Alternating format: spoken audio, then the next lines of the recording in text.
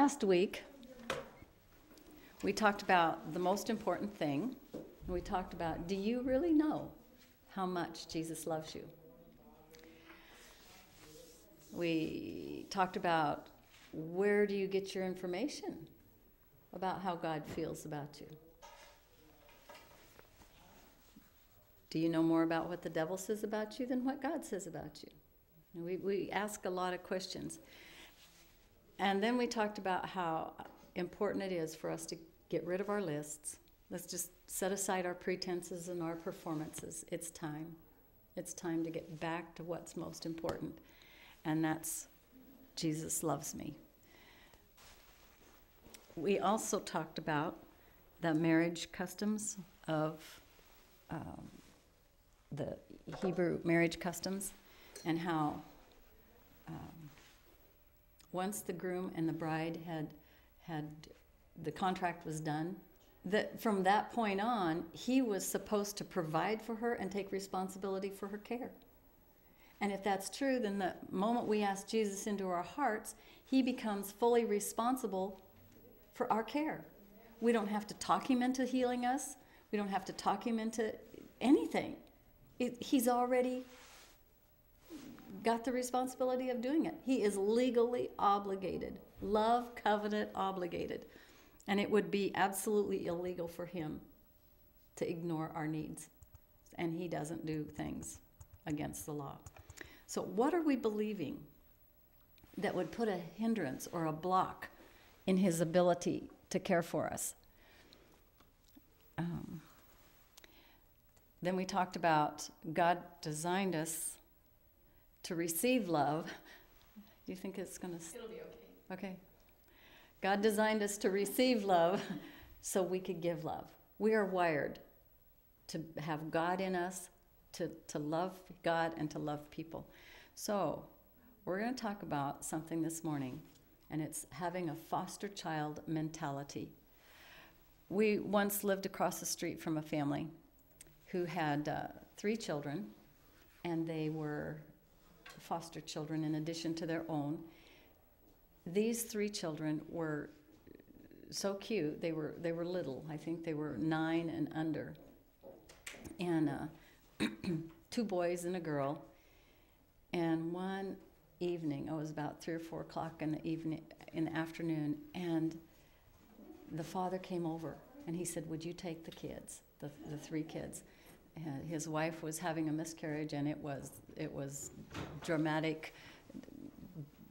It was terrible. Anyway, so I took these three foster kids, and um, I took care of them. And we made a fun video, and and uh, I fed them supper, and this dragged on clear until late in the evening. I don't know whether I bedded them down. Um, they might have even spent the night. I don't know, but. Um, while they were eating supper, they were talking. And I listened to their little conversation, and it went something like this I wonder if it was our fault that she lost the baby. We did a lot of fighting, you know, we, we didn't do very well. I wonder if I wonder if they won't want us anymore. And you know, it wasn't too long after that that um, I saw the social worker pull up and they carried the three little suitcases out and three crying children. They'd been there for a year or two, long enough to, to start relaxing and thinking maybe this is the daddy and the mommy that I've always wanted. Uh, so as I watched them go, I thought, you know, here they are, these kids. They feel like they're never good enough to be in the, a part of a family. Um, never felt like they really belonged, and if they did, it would be jerked away from them. They always felt like they were on the outside of the family. They always felt like they had to perform and, and do everything perfectly, or they wouldn't be wanted. And if something went wrong, it was probably their fault. They were always looking for recognition and affirmation. Um, You know, we get that same mentality, don't we? And we find it hard to fully trust God, and we're not sure are we going to be punished or hugged? Uh, did I do it right or did I do it wrong? It's my fault that they weren't healed. It's my fault that my parents got went through this and you know, you may have even grown up with parents that loved you. And you still feel that unloved, unwanted foster child mentality. You may be an adopted child or you may be a, the biological member of a family. It doesn't matter. We were all wired for love. And it's the one thing Satan wants to cut us off, off from. You know, you can even be a born again believer in leadership, in ministry, in a pulpit, in uh, a Christian ministry, and you can still feel that foster child mentality, can't you? I'll never forget, I'll never forget the look in the eyes of some of my students, high school students, when they came to school one day and they had had classmate, former classmate from the public school. He was a Christian, and he'd gone out to the cemetery and shot himself, killed himself. And they were horrified because he did it because he didn't think anybody cared. Nobody loved him and nobody'd miss him anyway, so why was he there? Oh, the deceptions we believe. But we, we can feel the same way about God, can't we? And so we go mm-hmm. on and, and try and take care of our own lives our own way. Why couldn't he receive their love? Why did he feel like a foster child in his own family? Why did he believe that lie? Why do we believe the lies that we believe? We don't even know they're lies. That's why he believed the lie. He didn't know it was a lie. He thought it was the truth. And uh, the farther we go in this class, the more we're going to realize whoa, that one's uncovered, and that is a lie. Whoa, this one's un- that's a lie. And I've been believing that all my life. Wow. Well, let's take a look at the prodigal son. You know the story. A father had two sons, and he loved them both very much, but neither one of them could receive that love. The older one worked hard, he was obedient, um, he thought his performance would gain him acceptance. Describes some of us, doesn't it? Uh, the younger one was selfish, self focused, and his vision was limited to what do I get at the moment. He wanted his inheritance before he had the maturity to handle it. And we find ourselves praying for things that God knows it's it's just not time for you to have that yet. You couldn't handle it if I did give it to you. So this this younger one got his inheritance, and sure enough, he wasted it, and he ended up eating pig slop before he t- decided to humble himself and come back home. Now, when the father received him back, what did the older one do? Whined, pouted, um, jealous. Yeah. Well, the Father's love was available to both of them, but neither one could receive it. Why? And that's what we're going to talk about today. There's something we need, need to, a perspective we need to have. Because both of those boys had the mentality of a foster child rather than the heart of a son. One chose to respond to the Father's love with performance, and one chose to respond to the Father's love with rebellion. But it's the same thing. It's a foster child mentality. Now, I'm going to tell you the story about a, a, guy named David, who's a young man who grew up in a very harsh, dysfunctional home. He was an alcoholic until he was in the mid 30s. He carried these dysfunctional traits right into marriage, wounded the lives of his wives and daughters. He made a mess of his life. Okay. In his late 30s, he became a Christian and he discovered that God loved him. and he wanted to see his family healed because he, he had an encounter with God. It was real. But it didn't happen because even though he'd had an encounter with God, he just kept messing up. He said, I just can't get it. He said, I receive all these teachings, but the love of God just won't move from my head to my heart. My family still has so much more healing to go through, and I know I've got to have a breakthrough in my fear of intimacy in order to help facilitate my he- the healing with them. It's like I'm numb. I know the principles of the Bible, I know the principles of God's love, but it's never become truly real to me. Does anybody identify with that? We know it, but we're missing something.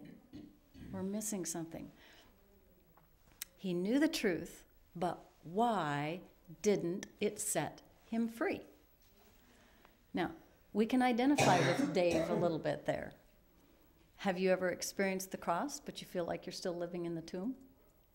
You know the truth, but you still have a hard time trusting God. You know God is a healing God, and you pray for healing, but you kind of just give up on receiving it. Or you serve God faithfully, you read His Word, you pray, but there's still a distance between you. And you might even feel like every day is just another day. I'm not measuring up. Oh, why did I say that? How come I did that? Oh, you know. And we get to feeling like nothing that we do is is cutting it. We're always making mistakes. We don't know whether God is punishing us or what did I do wrong this time, God? You know. What good does it do to sit day after day and year after year inside of a tomb um, eating pig slop? That stone rolled away. Why is it still over this doorway? How do I get out? How do I overcome this slave mentality? How do I overcome this foster child mentality? Well, I'm going to tell you the, the rest of the story about Dave because he did something, but it was pretty drastic. And uh, you might find yourself in a position where uh, we have to get drastic to get that stone rolled away. There's a place down there at the tip of South America. It's called Drake's Passage. It is also called the Sea of Fear. It's 500 miles of ocean, and if you'll notice the way the continents are, if the wind is blowing, there's nothing to stop it through there. It's like a wind tunnel. It's the most dangerous water in all the earth. And if you fall overboard, it's almost instant death. You've got five minutes. That's it. And then hypothermia will kill you. The swirling water currents that have no continent to block them, winds blow at 40 miles an hour for over 200 days a year, uh, waves come from every angle. Conditions can go from absolute calm to just tremendous storm in just a, a minute. Over 400 boats and ships have been sunk there and the lives lost. So David signed up on that boat with eight others for a sailing expedition. It was a 74 foot sailboat. They're going to go through Drake's Passage. Everything went fine until they started coming back. It was unusually calm, so they had every square foot of the sails up to catch any kind of breeze that they could catch. And they're sailing through this passage.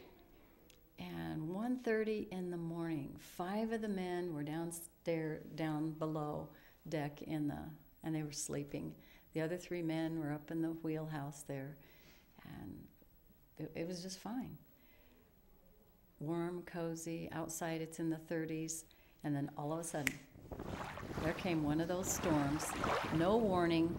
The wind blew in so hard, it almost immediately was a gale force. The icy sheets of, of sleet were going sideways. The temperature dropped well below freezing, and with those sails up and all that going on, it wouldn't take much just to tip it over and they're sunk.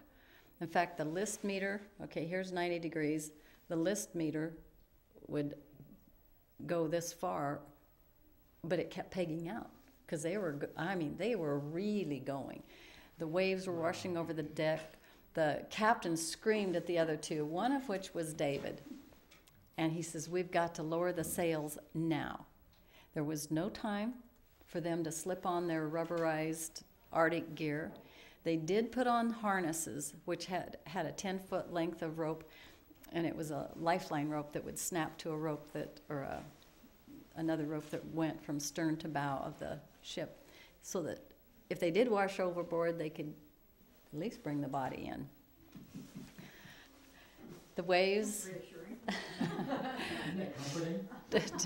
20 to 30 foot waves, boat crests that go up on these waves, plaster them into the deck, and then boom, it'd fall down, and the guys would be kind of suspended up in the air. They were out there trying to put these sails down. Well, the captain and one man finished lowering the sails, and then they crawled back into the, the wheelhouse there, and they're looking out through the window, and, and they see David. He's still out there on the bow.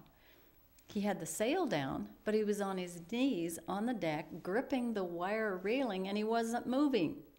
And they couldn't figure out what was going on. And every time the, the bow dropped, he was up in the air and then he'd be plastered to it and, and it was just going back and forth. That's icy sleet. What, why didn't he come inside? What they didn't know is that when he lowered those that sail, he the rope, as that big heavy rope, it was covering his lifeline, and so he was pinned to the deck and couldn't couldn't go anywhere. So he couldn't move unless he unhooked that safety line. So it was like, do you want to die now or do you want to die later in a few minutes? And so, which way did he want to die? So he's out there riding that thing, getting colder and colder, and finally, he crawled back to the wheel, the wheelhouse. He made it back. He didn't say a word. He just crawled in the door, went downstairs, shut himself in the bathroom, and they didn't see him for a long time. And here's when he did come out, he wouldn't talk about it. He wouldn't say anything. He said, no. And it wasn't until he was on the trip home with his buddy that he started talking. And here's what he said When I was on the bow, I couldn't get my lifeline untangled. I knew I was stuck. My only possibility of getting free was to unsnap the lifeline from the safety rope and make my way back into the warmth of the cabin without it. But the fear of being washed overboard hindered me from letting go. And I sat there thinking, oh, well, this isn't too bad of a way to die. And that's when I heard a voice inside me say, Live. I said, Father, is that you?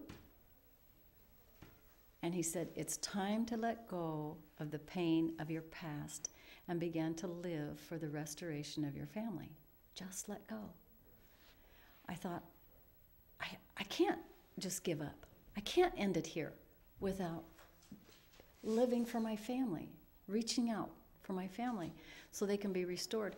And he reaches over and he unsnaps that lifeline he faced his fears and he took the risk to choose life.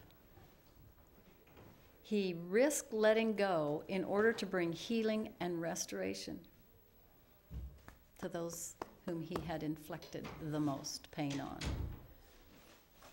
Now, I'm going to, this is in red on my notes here says, For the first time, he made a decision that was not self focused. Mm-hmm. You want to know how to let go? How do you, how do you start receiving the love of God, quit thinking about yourself. it's real simple. Let go of that foster child mentality. Mm-hmm. It's. Mm-hmm. It was a decision to lay down his life as a sacrifice for somebody else. If I perish, I perish. But I'm going to perish living for somebody else. That's what it's all about. Now, stop and think. We've put up with a foster child mentality long enough.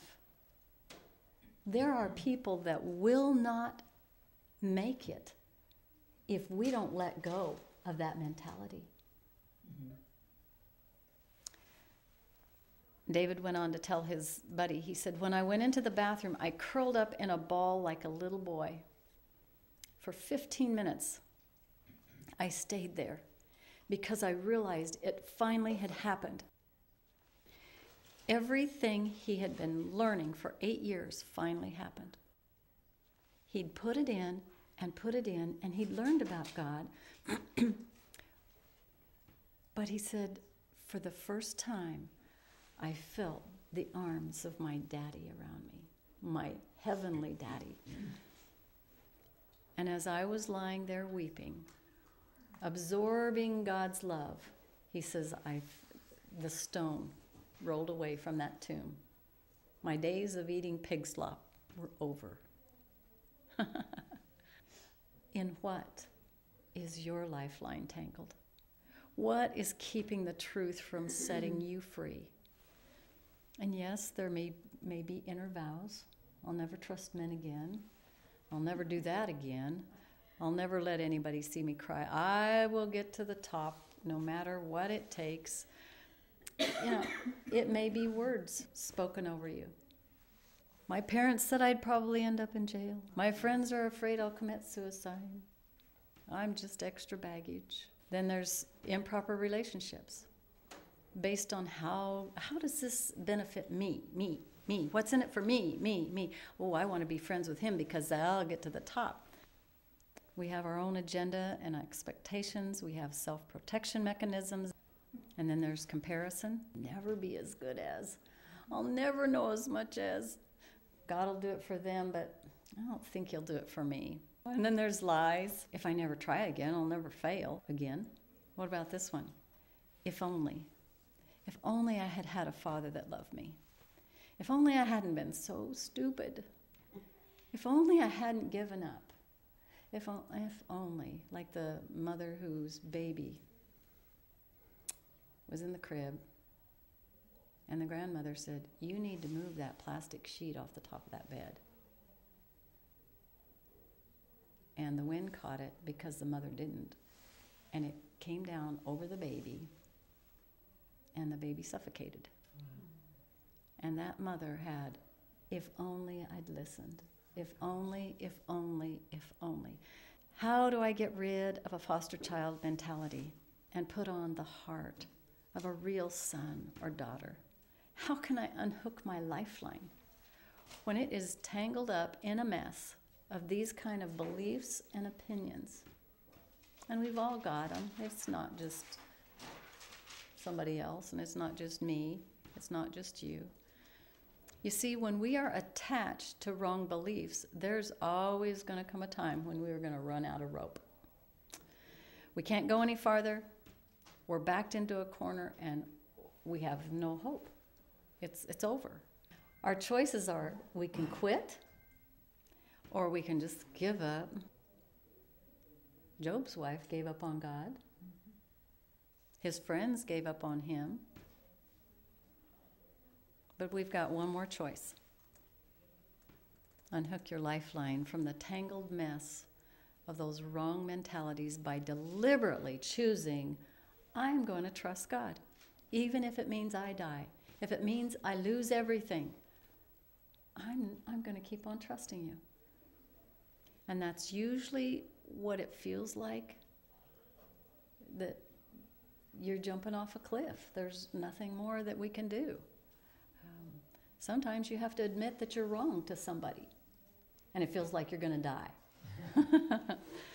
um, There was a man who gave his heart to Jesus and he was born again. He was a smoker. And it was like that one addiction just had a hold of him. And he couldn't couldn't get loose of it. And he'd pray, he'd go to the altar over and over again. He'd just keep on praying and praying about it.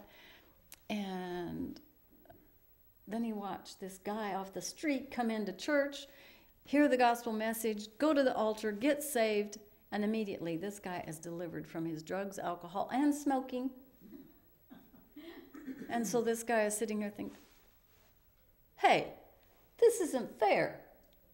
I'm seeking you. And he just walks in and gets free. And he goes to God and he says, What's the deal? And God says, You like it. And he realized, as soon as God said it, it's like the veil came off of his eyes. That's why we don't let go sometimes. Mm-hmm.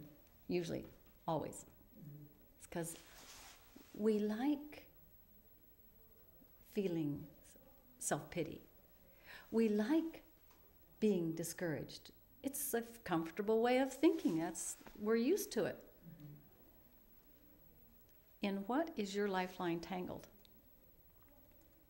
Remember the Hebrew children when they left Egypt? Remember they had a their lifeline was tangled up in a slave mentality.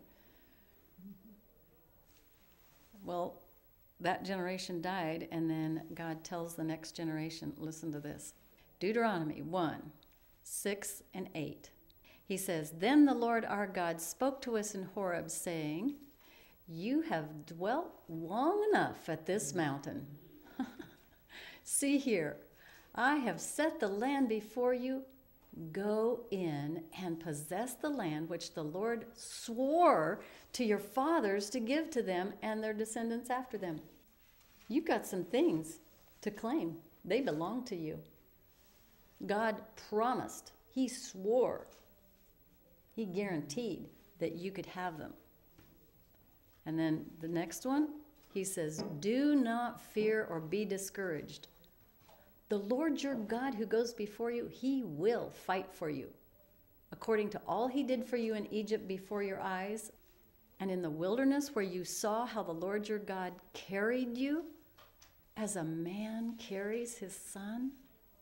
Do you know that you've been carried by the Father? All those times? Yet for all that, oh, look at that last part. You did not believe the Lord your God? Our eyes need to be opened a little bit. Deuteronomy 2:24 says, "Rise, is that going to take some effort? It's going to take a change of position, isn't it? You're going to have to change the position of your thoughts. You can't think this way and rise. You have to raise your thoughts first, and then everything else will follow. Rise, take your journey, and cross over the river Arnon. Look, I have given into your hand Sihon the Amorite, king of Heshbon, and his land. And then listen to this phrase, this sentence begin to possess it and engage him in battle. And then he repeats it. He says, begin to possess it. Now, Genesis 22 17 says, Blessing I will bless you, and multiplying I will multiply your descendants as the stars of the heaven, and as the sand which is on the seashore, and your descendants, Abraham, shall possess the gate of their enemies. Numbers 33 55 says, But if you do not drive out the inhabitants of the land, those you allow to remain will become barbs in your eyes and thorns in your sides. They will give you trouble in the land where you will live. Got a few barbs in your eyes and thorns in your side, it's time. Now, you'll often find that um, older people, do you ever notice that the older people get, sometimes the more stuck they get in their, in their opinions? We've been through a lot. Older people have been through a lot. They've taken batterings and beatings, and life has been hard. But watch this they have a lifetime of choices that they've made. Either they've developed coping skills or they develop trust in God. They're going to go one way or the other. And sometimes, you know what we do? We develop coping skills in one area and trust in another. We're kind of like this double minded, walking this tightrope.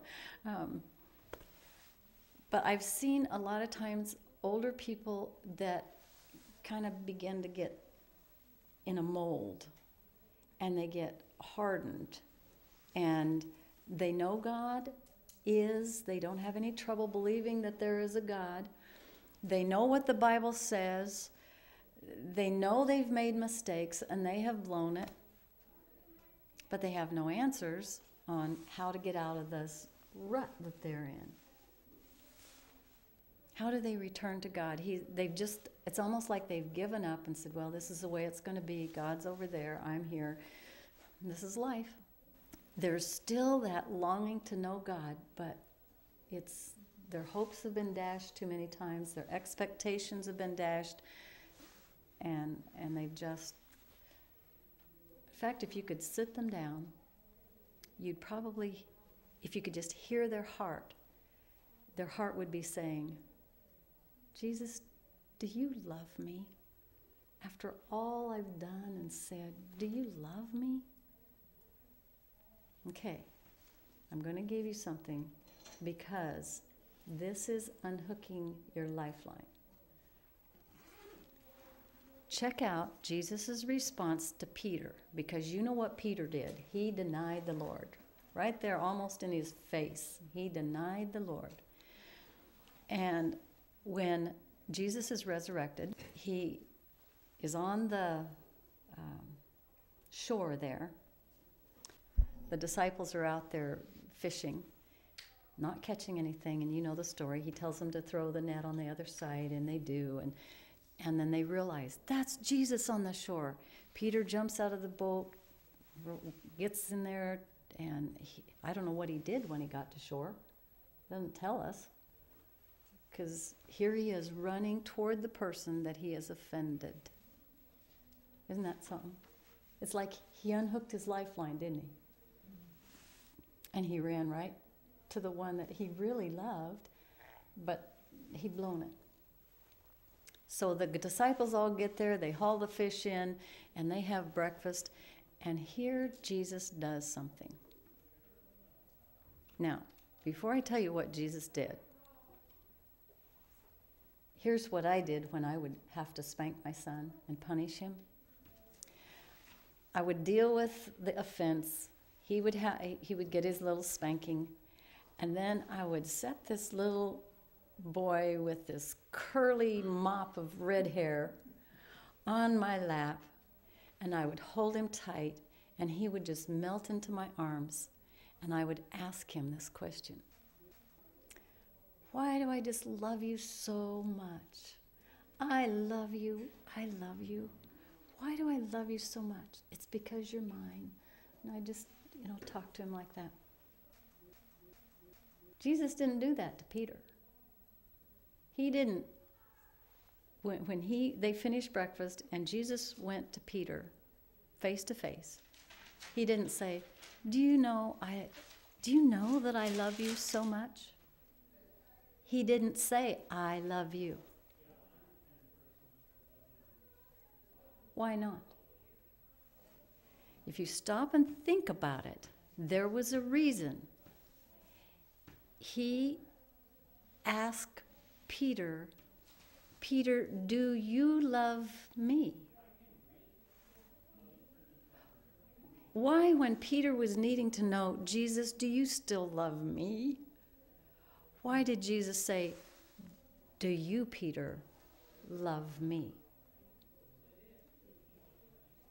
And here's why there is an immovable, unshakable, unchangeable f- truth God loves you.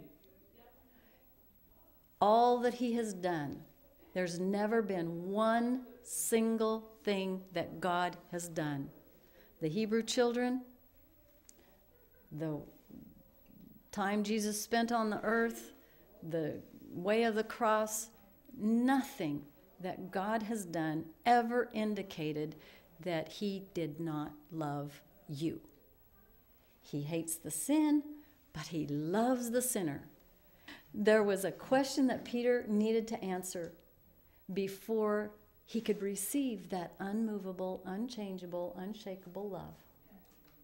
And that is do you love Jesus? All that you've done, have you ever quit loving Jesus?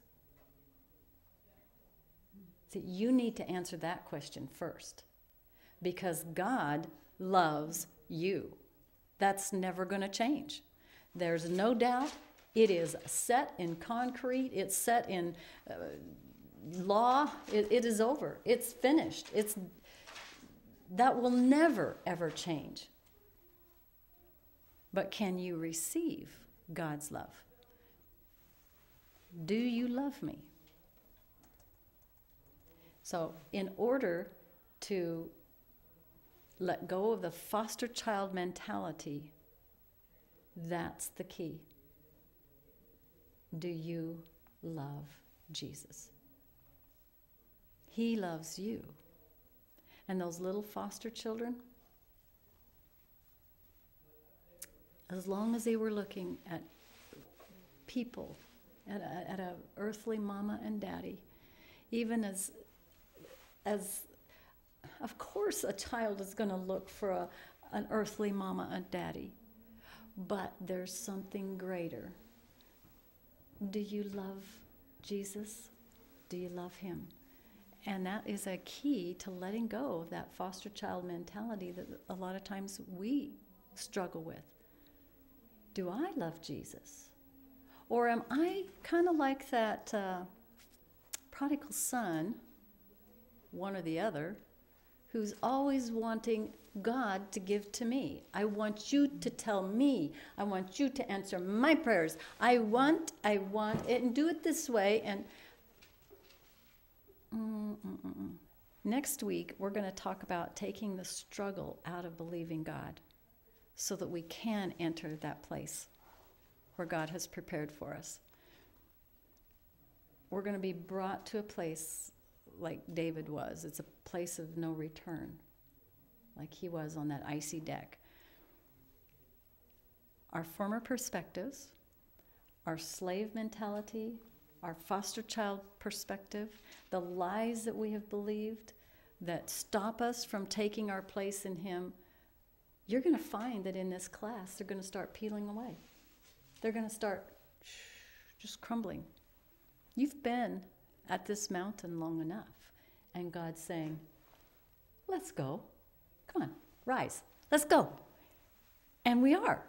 We're rising up, and we are letting go, and we are becoming family members. Now, I want to show you something. John 21 5. Now, put your finger there and go to Isaiah 53 and then go back to Matthew 1. And we've done this in classes before, but verse 17, where it talks about, therefore, all the generations from Abraham to David are 14 generations. And that is true. Um, you can count them and then it says from David to the deportation to Babylon, 14 generations, and that's true. You can count them. And then it says, and from the deportation to Babylon to the time of Christ, 14 generations. As listed here, it doesn't work because there's only 13 generations to Jesus. Where is the 14th generation? And you go over here to Isaiah 53:10 says, But the Lord was pleased to crush him, putting him to grief. If he would render himself as a guilt offering, he will see his offspring. Jesus had some offspring, and it's you. And God left a place in the book for your name. You are that 14th generation. You belong, your name belongs in that book. Now, notice what in John 21, verse 5 these are his disciples, but he calls them by a different name. Jesus therefore said to them, Children, children, my children. It's a different relationship that he has with them now. You do not have any fish, do you? And they answered him, No. You're missing something in an area, aren't you? And he says, I have the provision for you. From foster child to family member. That's what they went. They went from disciples to family members. And that's what God wants to do. He wants us to do that. Um, we are becoming family members. We're taking our place in Him. If you want to be in Him, we need to really start at the beginning. And the beginning is Jesus loves you. This you know because the Bible tells you so. Now, do you love Jesus? So there you go. And that's the lesson for today. We're going to move from foster child to family member.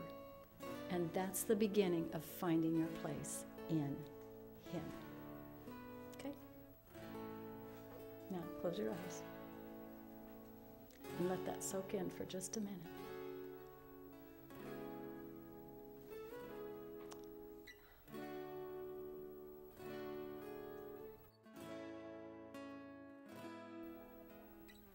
Jesus, we love you. We love you.